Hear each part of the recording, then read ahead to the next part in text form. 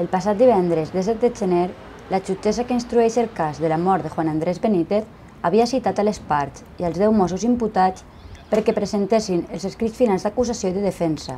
A la ciutat de la justícia, Jocon s'havia limitat l'accés, impedint que qualsevol tipus de premsa pogués gravar imatges dins de l'edifici.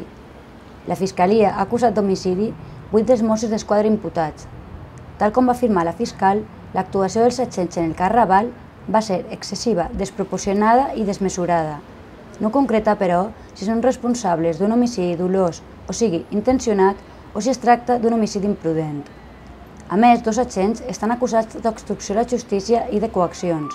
Concretament, un agent que va netejar la sang del carrer i un altre agent que va exigir a una veïna que esborrés les imatges que havia pres de l'actuació policial.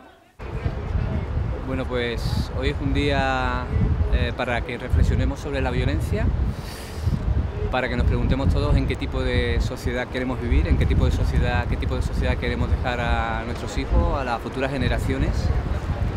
Es un día para agradecer a los héroes del Raval, los vecinos de la calle Aurora, eh, su valentía en la corresponsabilidad con la justicia, cuya juez ha demostrado que sí se puede confiar en ella, para agradecer a los ciudadanos y a las diferentes entidades con su apoyo y compromiso eh, que han hecho posible llegar hasta aquí eh, con la certeza del trabajo bien hecho y para exigir la dimisión de Manuel Prat, uniéndonos así a la petición del Consejo Nacional LGTB, desde el que se lanzó la pregunta si estaría vivo Juan Andrés Benítez si no hubiesen intervenido los Mossos.